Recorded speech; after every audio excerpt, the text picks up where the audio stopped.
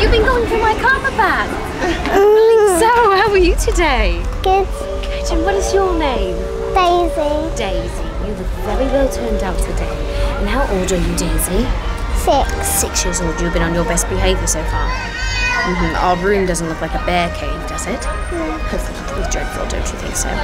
Who all did you bring with you today? My mommy and daddy. And is it your brother? Yeah.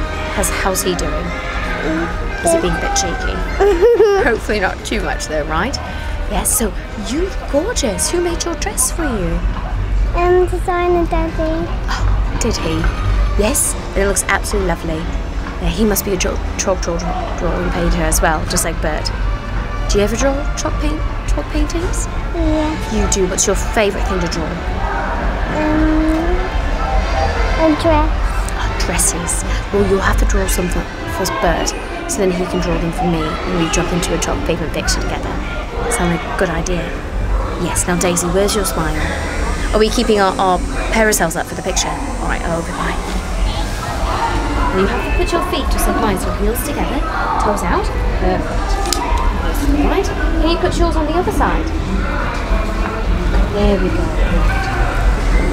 Can you turn your back towards me a bit? One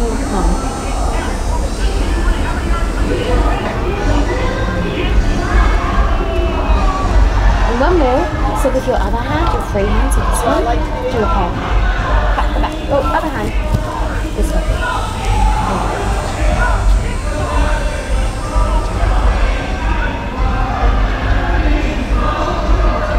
Now you enjoy your data, yes? Be on your best behaviour, especially since you're representing me, don't you think so? Yes, I have a handshake? It was a pleasure to meet you, Daisy. You a good girl? Alright, best of all. Now, do you remember what my favourite word is? Expialidocious. Supercalifragilisticexpialidocious. It's the perfect word to use when you're not quite sure what to say, don't you agree? You say it backwards? It's docialexpialidocious. So you have to practice that, so next time you visit you can say it for me, yes? Alright, best foot forward, Daisy. Take care. Enjoy your holiday. Thank you.